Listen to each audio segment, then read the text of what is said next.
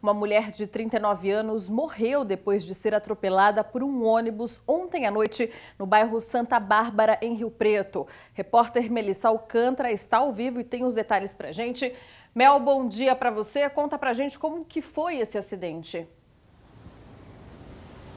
Olá, Jéssica, um bom dia a você e a todos que nos acompanham. Olha, segundo as informações do boletim de ocorrência, o marido da vítima pilotava a moto e ele seguia ali pela rua Aparecida do Tabuado. Quando chegou até o cruzamento com a Avenida Hernani Pires Domingues, o trânsito parou e ele então precisou frear a moto para evitar uma colisão. Nesse momento que aconteceu, eles acabaram caindo ao chão e foi quando vinha um ônibus no mesmo sentido e acabou atropelando essa vítima. A mulher chegou a ser socorrida e levada para a UPA aqui da Zona Norte, mas infelizmente não resistiu aos ferimentos. O corpo de Tatiana Vieira da Silva vai ser enterrado em Badibacite. O horário ainda não foi disponibilizado e por meio de nota, a Circular Santa Luzia informou que lamenta profundamente o que aconteceu e que vai apurar todas as causas, tudo direitinho o que se passou nesse acidente. Jéssica.